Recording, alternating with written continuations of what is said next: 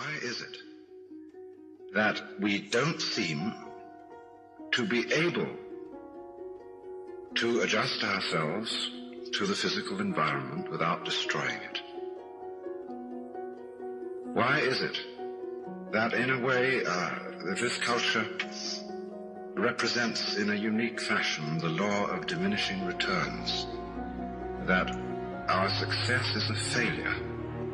That we are building up, in other words, uh, an enormous technological civilization which seems to promise the fulfillment of every wish almost at the touch of a button. And yet, as in so many fairy tales, when the wishes finally materialize, they're like fairy gold. They're not really material at all. In other words, so many of our products, our cars, our homes, our food, our clothing,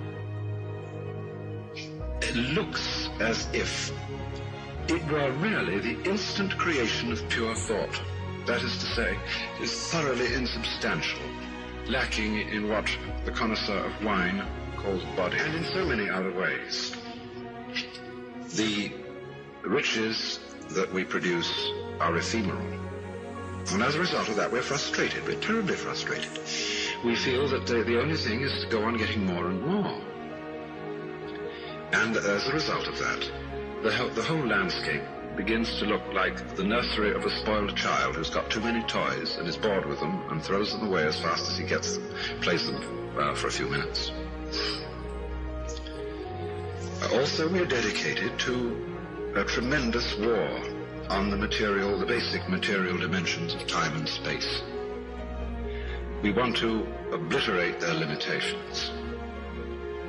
We want to get everything done as fast as possible. We want to convert the rhythms and the skills of work into cash, which indeed you can buy something with, but you can't eat it. And uh, then rush home to get away from work and begin the real business of life, to enjoy ourselves.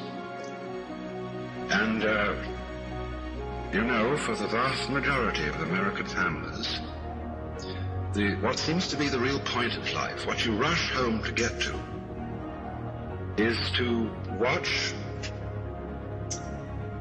an electronic reproduction of life. You can't touch it.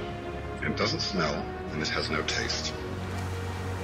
You might think that people getting home to the real point of life in a robust material culture would go home to a colossal banquet or an orgy of lovemaking or a riot of music and, music and dancing. But nothing of the kind.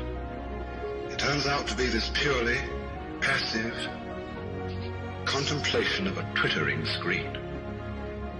As you walk through suburban areas at night, it doesn't matter in what part of the community it is, you see mile after mile of darkened houses with that little electronic screen flickering in the room.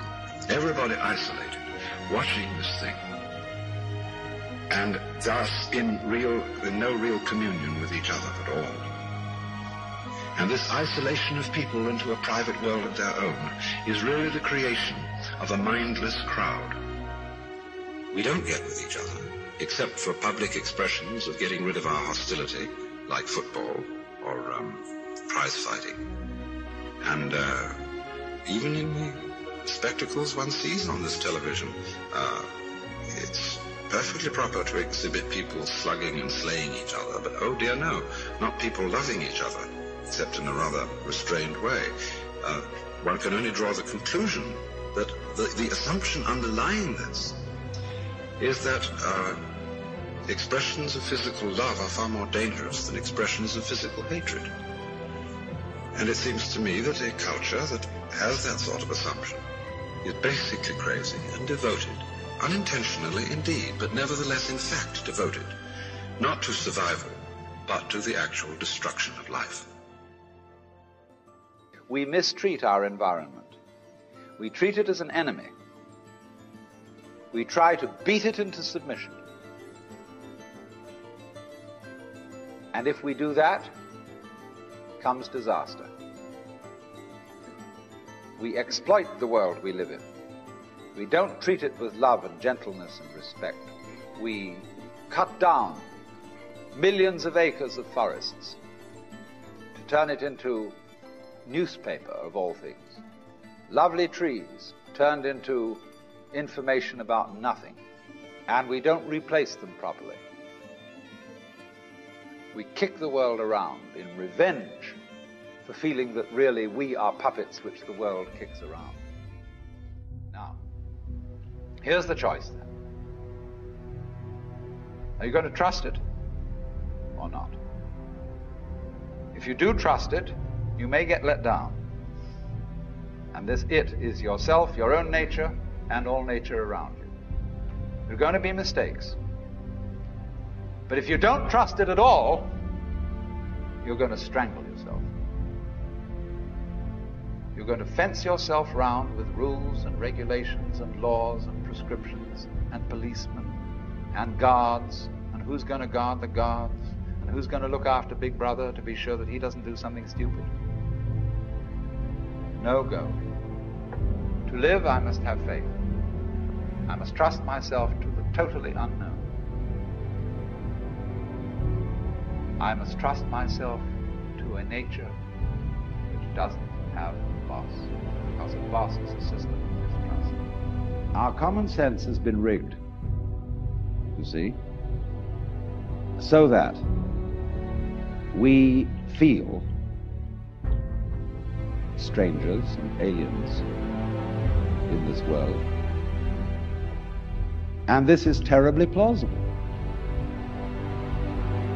Simply because it's what we're used to. That's the only reason. But when you really start questioning this, say, is that the way I have to assume life is? I know everybody does, but does that make it true? It doesn't necessarily. It ain't necessarily so. For example, people used to believe that the people who lived in the Antipodes would fall off. And that was scary. But then when somebody sailed around the world, and we all got used to it, and now we, we travel around in jet planes and everything, we have no problem about feeling that the earth is globular. None whatever. We got used to it. So in the same way, Einstein's relativity theories, the curvature of the propagation of light, that began to bother people when Einstein started talking like that. But now we're all used to it. Well, in a few years, it will be a matter of common sense to very many people that they're one with the universe. It'll be so simple. And then maybe, if that happens, we shall be in a position to handle our technology with more sense. With love instead of with hate for our environment.